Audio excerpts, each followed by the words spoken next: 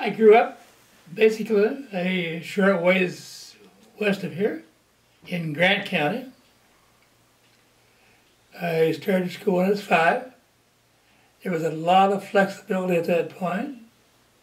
I walked to first grade, about a mile and a quarter away, one room school. And uh, went there one year and it was consolidated into the next township at that point. And uh, from there I went to Upland High School, which was later Jefferson Township High School, where I graduated. Now part of the Eastbrook system in Grant County.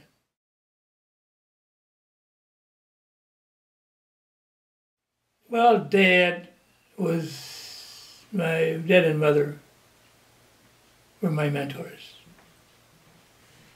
And they're very interested in the world about them. Uh, strong believers in education. They only went to the eighth grade, which was a normal at that time. Both dad and mother were born in the 1880s.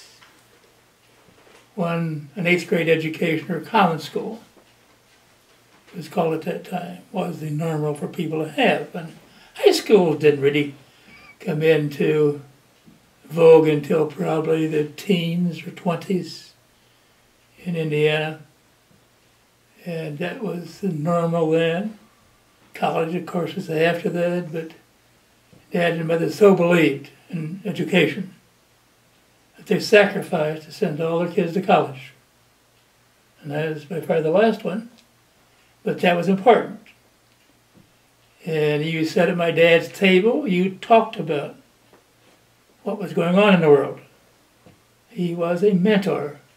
He had strong feelings uh, about lots of things. Opinionated, yeah. Uh, stubborn, uh, but very dedicated and uh, believed that tomorrow should be a better day.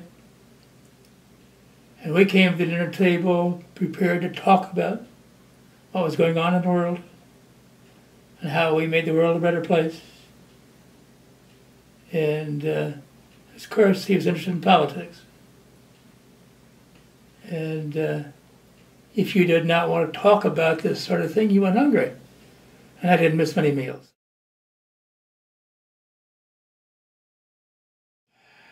I recently found a letter of a teacher I had in the eighth grade who, uh, knowing I was in a tough election early on, he wrote me a note and said, if you don't make it this time, don't give up. I believe in you. That sort of confidence from a former teacher it just it does wonders for you. But I could uh, probably name a half a dozen mentors at Purdue who had a tremendous influence on our activity. And uh, my first time on the ballot was 1958.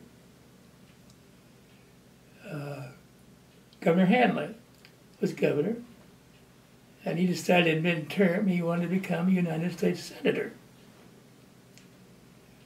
and it wasn't well accepted. And he said, uh, after he'd been beaten, that he's the only governor in Indiana history that had a vote of confidence in midterm.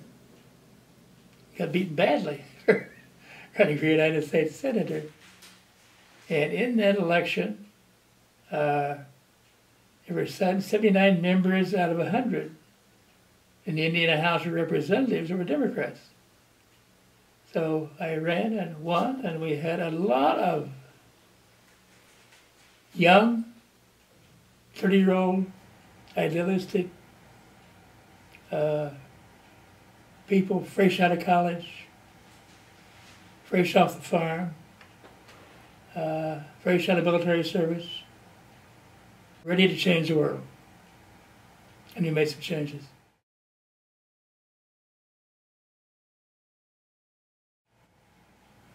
In our first session in 1959, here was this large group of young idealistic, idealistic uh, people who wanted to change things.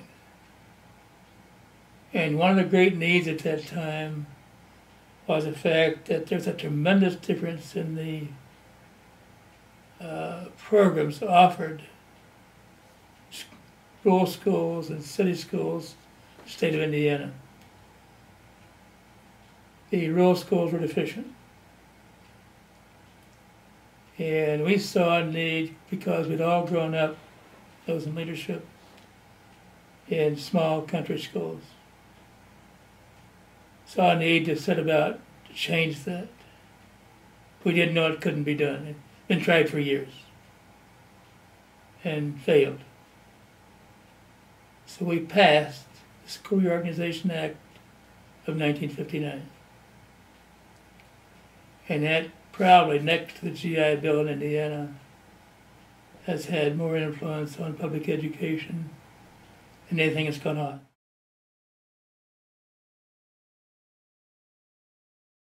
If you see something that bothers you, in a way of a school board action or county council action or city council action or mayoralty election that you don't like,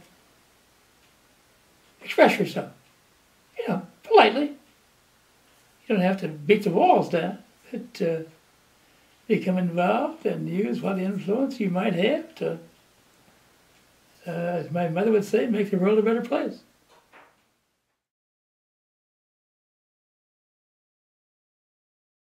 Well, they can. Young people can make a difference. And the great changes, if you look at the world history, the great changes uh, that have taken place in the world have come about by the actions of young people who were not happy with the way things were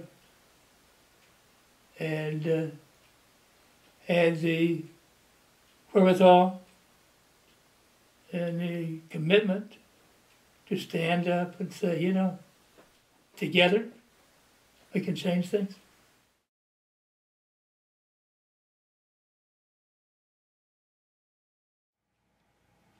Uh, do your preparation. Don't depend on politics for a livelihood. Build your base make sure you can make a living at some in some way besides the political method of doing it. That means build a business or uh, be skilled at something, get a professional degree, law, education, whatever. Don't subject your family to the uh, the uh, parts of politics that might uh, not provide you a living. And then take up your cause.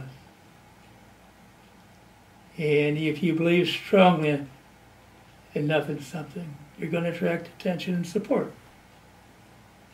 And the uh, satisfaction and redemption you get from that sort of activity is worth all the effort you put into it amazing uh, some public servant servant once wrote me and advised me the next religion, politics can be the most satisfying activity you can have.